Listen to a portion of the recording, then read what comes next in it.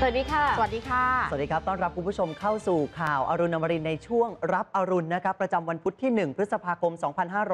2562 อยู่กับเราทั้ง 3 คน วันนี้คุณสุประโชค ดูผมยาวเป็นพิเศษ วันนี้อาจจะดูตัวเล็กลงนะคะอ่าคุณสุประโชคติดภารกิจลาไปสัก 3 วัน เดี๋ยวมาอืมแทนคุณสุประโชค 3 วัน แล้วก็เดี๋ยวมาเจอกันกับคุณสุประโชคสัปดาห์หน้าเหมือนเดิมใช่เขาลาไปเชียร์ทีมฟุตบอลอะไรของเขาหรือเปล่า โอ้โห ตอนนี้ต้องบอกเลยว่ากองเชียร์ค่ะกองแช่งเนี่ยเสียงแบบแตกออกเป็น2ฝั่งอย่างชัดเจน เออเพราะฉะนั้นในช่วงโค้งสุดท้ายของค่ะฟุตบอลพรีเมียร์ลีกอังกฤษนะฮะคุณสุประโชคก็เตรียมไปฟิตร่างกายให้พร้อมอืมเพราะว่ารอบนี้ต้องมารอลุ้นกันนะครับผู้ชมว่าออกมาแล้วจะหมู่หรือจ่าค่ะ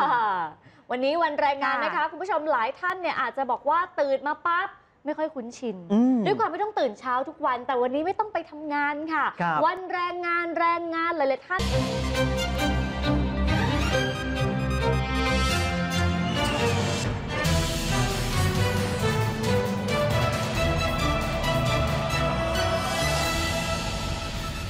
สนับสนุนโดย ท้องอืดท้องเฟ้อบรรเทาด้วยยาแคปซูลขมิ้นชันอ้วยอัน จากอ้วยอันโอสถ เครื่องปรับอากาศพาสกิ เย็นถึงใจซูบารุด้วยรักจากหัวใจ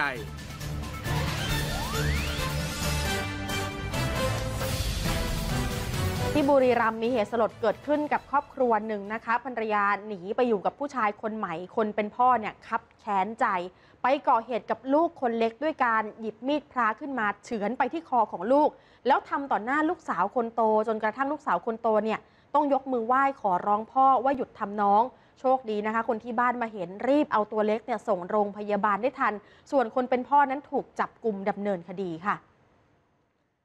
นี่แหละค่ะจับกลุ่มมาได้พร้อมกับของกลาง เป็นมีดพระยาวประมาณสัก 50เซนติเมตรนะคะ คนก่อเหตุคือนายมนตรีอายุ 35 ปี ไปจับได้ที่บ้านในอำเภอชำนิจังหวัดบุรีรัมย์เพราะว่าก่อเหตุ ปาดคอ น้องเอนามสมมุติวัยเจ็ดขวบลูกคนเล็กจนได้รับบาดเจ็บ แล้วทำต่อหน้าลูกสาวคนโตวัยเก้าขวบ เพราะว่าโมโหที่เมียเนี่ยหนีไปอยู่กับผู้ชายคนใหม่